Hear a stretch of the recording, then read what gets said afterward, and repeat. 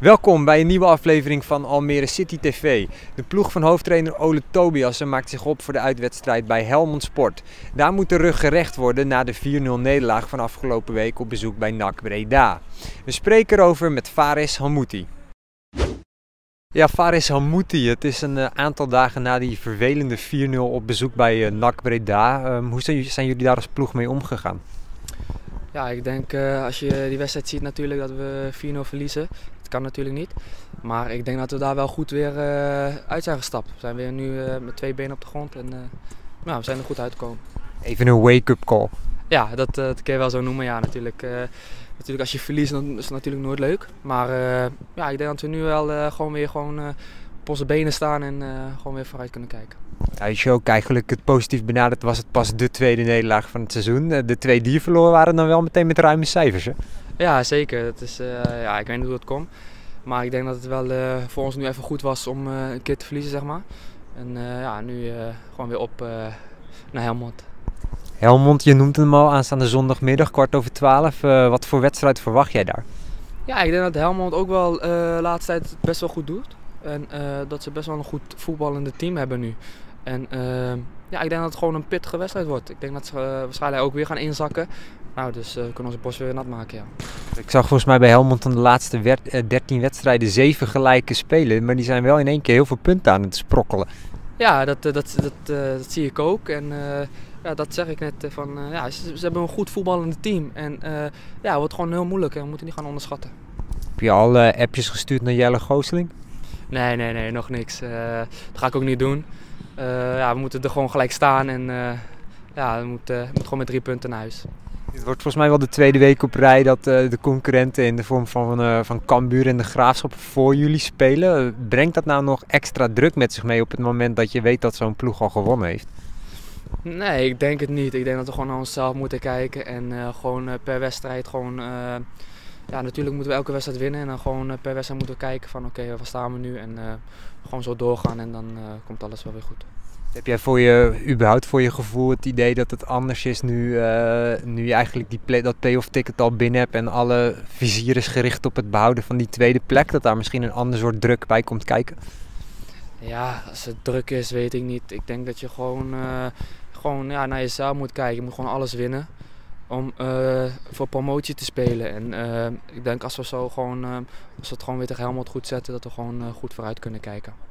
In het verleden hebben jullie in ieder geval laten zien na alle wedstrijden waar punten werden gespeeld, dat jullie eigenlijk altijd een week later er weer stonden en de volle buiten aan de haal ging. Ja, dat bedoel ik. En we moeten het natuurlijk niet opgeven na één verliespartij. Zoals je net al zei, van, we verliezen twee, twee wedstrijden nu in het hele seizoen. En ik denk dat we gewoon goed bezig zijn en gewoon door moeten gaan en dan komt het goed. Dankjewel, heel veel succes. Maar hoe ziet de geschiedenis tussen Helmond Sport en Almere City FC er eigenlijk uit? Dat zie je nu in de head-to-head. 17 keer eerder stonden Helmond Sport en Almere City FC in Brabant tegenover elkaar. Van die 17 wedstrijden won Helmond Sport er 9. Zesmaal was Almere City FC de sterkste en tweemaal werd het gelijk. Mooie herinneringen hebben de Flevolanders aan de editie van 26 januari 2018. Destijds won de ploeg van toenmalig trainer Jack de Gier in extremis door een doelpunt diep in blessuretijd van Kelvin McIntosh. Vorig seizoen kreeg Bram van Vlerke al vrij vroeg in het duel een rode kaart, waarna Almere City FC niet verder kwam dan een 1-1 gelijkspel. Helmond Sport is momenteel met 26 punten terug te vinden op de 13e plaats van de ranglijst, maar de ploeg van trainer Wil Boesen is bezig aan een sterke reeks in de keukenkampioen-divisie. Van de laatste 13 wedstrijden werden er slechts 2 verloren. Daaronder zaten overigens wel 7 gelijke spelen, waaronder vorige week vrijdag tegen Telstar. Toen werd het 1-1. Jelle Gooselink is dit seizoen verhuurd aan Helmond Sport. De aanvaller was tot dusverre 5 maal trefzeker voor de Brabanders.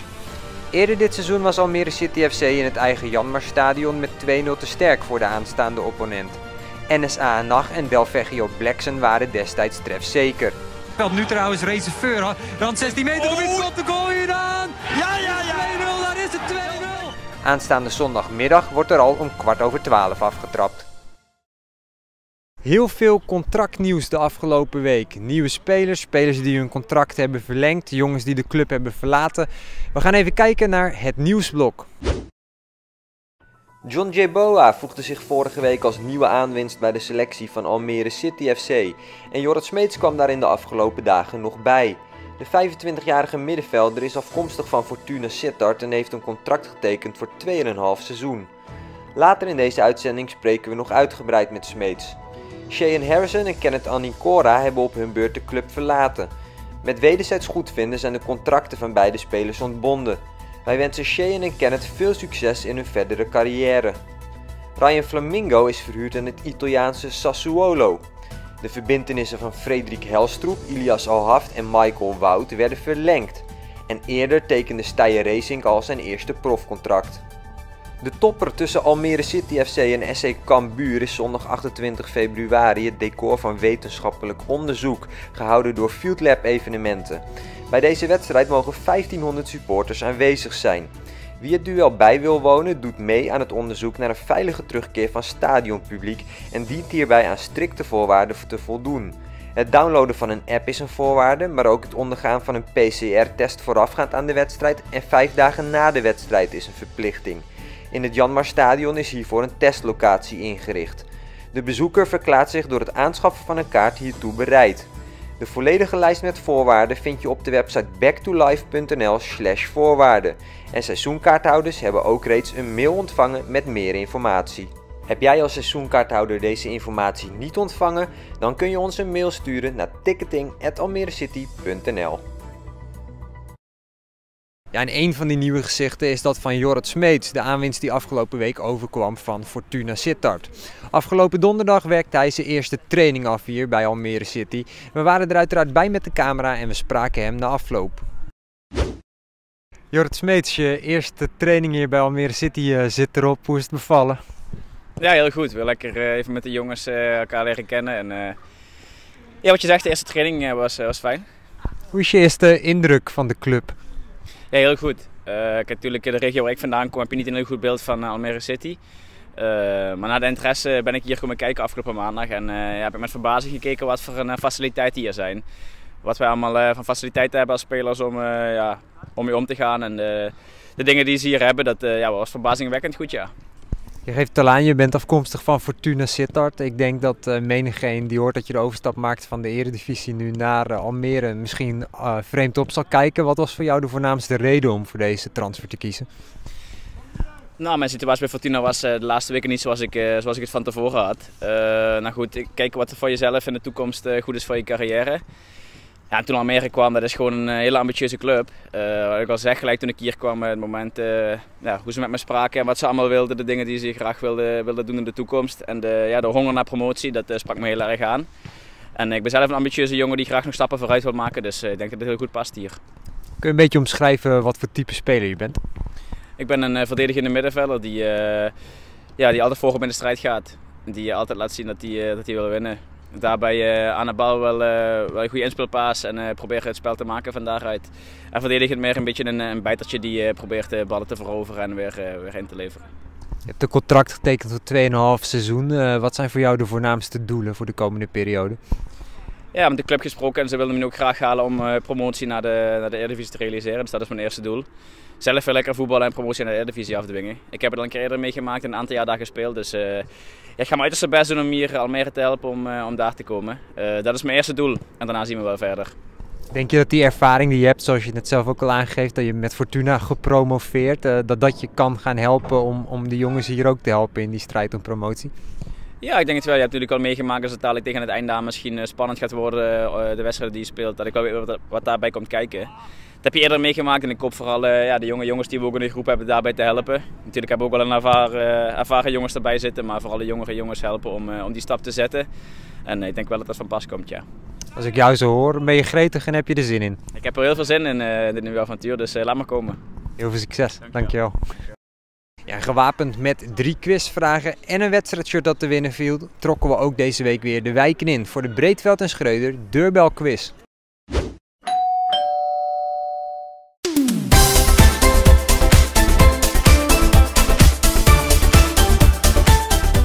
Ja, Ali, uh, daar zijn we weer. De Breedveld en Schreuder Deurbel quiz. We zijn weer de wijk ingetrokken met een wedstrijdshirt erbij. En we gaan gewoon weer ergens aanbellen om te kijken of we wat uh, prijzen weg mogen geven. Heb je er zin in?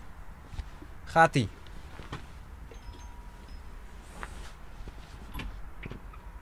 Goedemiddag. Goedemiddag. Daniel, wij Hoi. zijn van eh, Almere City FC en we Hoi. zijn hier voor de Breedveld en Schreuder deurbel quiz. Ja. En eh, dat betekent dat als jij mee wil spelen, dat we jou drie vragen gaan stellen. En als je ze goed beantwoordt, maak je kans op dit wedstrijdshirt. Mooi. Wil jij meespelen? Ik wil meespelen.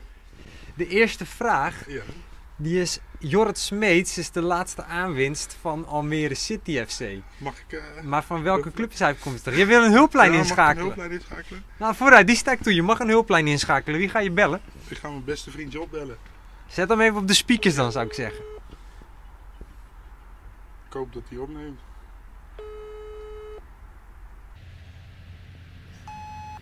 Oh jee. Yo, Yo, hey, ik, heb even. Ja, ben er. ik heb even een vraagje aan je, hè? drie vraagjes.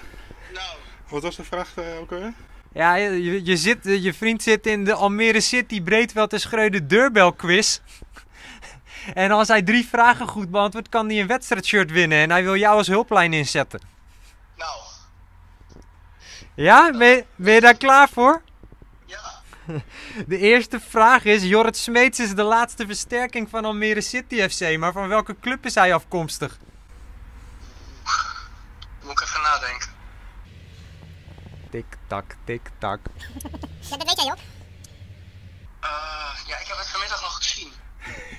Oh, dat maakt het nog erger dit.